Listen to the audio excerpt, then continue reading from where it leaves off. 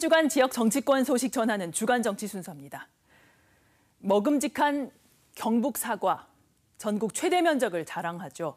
하지만 지난 30년간 대구 경북의 사과 면적은 44%나 줄었습니다. 기후 위기가 지역의 농업 지도도 바꾸고 있는 건데요. 이번 총선 녹색정의당이 기후 위기 선거대책본부를 대구에서 출범한 이유입니다. 지난해 냉해 피해로는 처음으로 특별 재난 지역에 선정된 경북 청송과 봉화, 의성의 과수작물이 큰 피해를 보았습니다. 기록적인 폭우로 30년 가까운 인명피해가 난 곳 역시 경북이었죠. 대구는 기록적인 폭염으로 매년 큰 사회적 비용을 치릅니다. 이처럼 기후위기는 지역 농민의 삶과 시도민 먹거리, 민생까지 위협하고 있지만 정작 선거철 주요 의제가 되지는 못하고 있는데요. 녹색정의당은 기후위기 대안을 제시하지 못하는 기득권 정권에 대한 심판을 대구 경북에서 해야 한다고 주장했습니다. 기후재난이 이렇게 심해지고 있는데 정치권은 어떻습니까? 국민의힘과 민주당 기후위기로 크게 싸우지 않습니다. 기후를 망치는 반기후 정책 펼쳐왔습니다. 핵발전에 올인하고 무분별한 신공항 건설에 매몰된 무능한 정치판을 교체해야 합니다. 또 기존의 개발 위주의 지역 소멸 대응 정책 대신 저탄소, 친환경 농업과 공공, 무상교통 확대 등을 통한 생태적 지역 살리기 정책을 펴겠다고 밝혔습니다. 기후 정치와 기후 국회, 녹색 정의당이 던진 이 화두는 생소하지만 배경이 된 기후 위기는 오늘의 삶과 내일의 안전을 위협할 만큼 가깝습니다.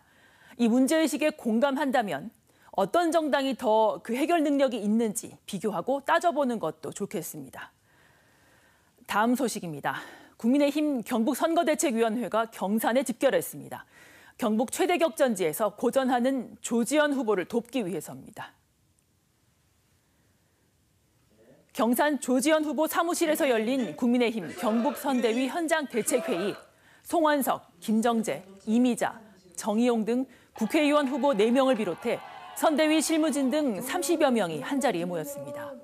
한동훈 비대위원장의 지원 유세 이후로도 무소속 최경환 후보와의 접전이 이어지자 자체 지원 전략을 세우려는 건데요.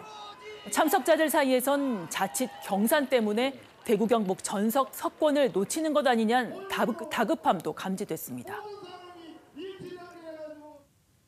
어, 경산 지역이 이겨야 우리 국민의 힘이 경북 지역에서 이겼다고 할 수 있다. 그래서 경산 지역에 최선을 다해야 된다.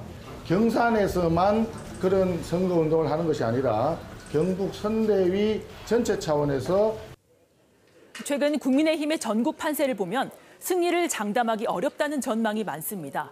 그럴수록 보수 텃밭에서만큼은 전 의석을 사수해야 한다는 의지가 더 강해졌다는 분석입니다.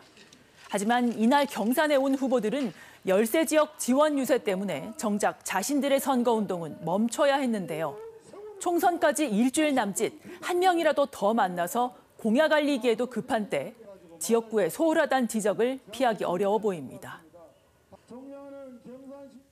우리가 그냥 뭐 저저뭐 항상 찍어주는 표기기 아닌데 지금 심판 대 심판 선거 로 가니까 지금 국민의힘이 상당히 원심력이 작동하기 때문에 상대적으로 응집력을 어, 발동해야 되겠다라고 하는 어떤, 어떤 위기의식의 발로죠.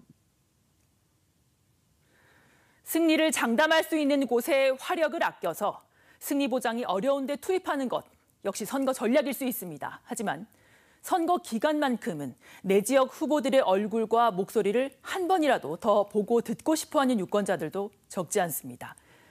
전체 판세를 계산하는 전략만큼이나 한 명, 한 명에 대한 진심을 중요하게 여기는 후보자를 지역 유권자 역시 바라고 있습니다. 주간 정치였습니다.